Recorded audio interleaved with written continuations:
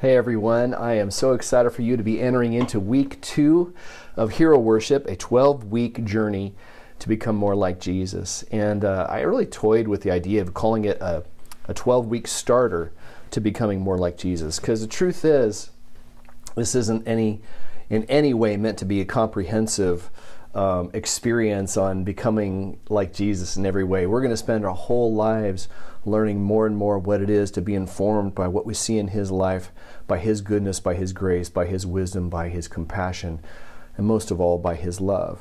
He is our example, and He is our hero, and He is the one we're following uh, whose footsteps we're following in and who we want to become more and more like every day. And so that's the point of this whole journey. And you have just read the introductory chapter on hero worship and just kind of framing the whole experience for you. Um, and ultimately understanding that at the end of the day, love is the context for everything good. Love is the ground, it's the fertile ground from which the fruit of the Spirit is going to grow in us. It is what Jesus exemplifies for us as He is the perfect embodiment of God, who is love for us. So I hope you went to the end of the chapter and you asked yourself some of those questions. Some of those uh, can be kind of intriguing to say, did you ever think of Jesus as being fully God, as the perfect embodiment of who God is and who He always was? As we explored in the chapter, there are uh, the beginning of different books in the New Testament, the writers go out of their way to establish that Jesus is God in the flesh. He is the perfect representation of who God is. He in the beginning was the Word, and the Word was with God, and the Word was God, and the Word became flesh and dwelt among us. The book of Colossians, the book of Hebrews, they go they go straight at it, out of the gate, say this is who Jesus is. There's no question. There's no wiggle room. There's no, uh, he wasn't just a good teacher. He wasn't just a good guy. If someone says it's okay to worship him, then he actually it receives that worship from people. He's either a lord or liar or lunatic, right? The C.S. Lewis paradigm. You know, he's, he's either crazy and delusional to think he's worthy of worship. He's either lying to you and manipulating you and making himself out to be some sort of false teacher, some kind of guru or he is indeed who he says he was. Either way, you have to make up your mind what you're going to do with Jesus. And who you believe him to be is the critical question. Do you believe him to be God in the flesh? Is he really the hero that we want to pursue and worship? And if you do believe that he died and rose again, well, it changes everything. You know, we don't have to worry too much about you know, the six literal days of creation, or Jonah and the whale, or violence of the Old Testament, or all of these other issues. Those, not that those are unimportant things, but until you decide precisely who Jesus is, what are you going to do with that? All that stuff doesn't matter. Because if you don't believe Jesus was raised in the Son of God and he's worthy of our worship, all those other questions are just a waste of time.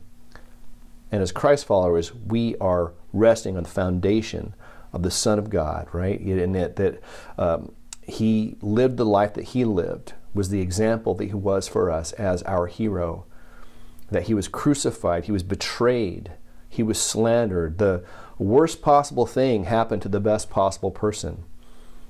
And then he showed us he was who he said it was by rising from the dead and putting everyone else to shame. He showed us that evil and slander and injustice don't have the last word. And that's why our hope as Christ followers rests in Him, not in what He said as much as what He did. He is our Savior. As you head into this next week here in Hero Worship, um, some of these chapter titles, it's going to sound kind of uh, maybe simplistic to you. I promise they are simple, but they are not simplistic. Jesus prayed. It was fundamental to his ministry. He modeled this for us in every conceivable scenario.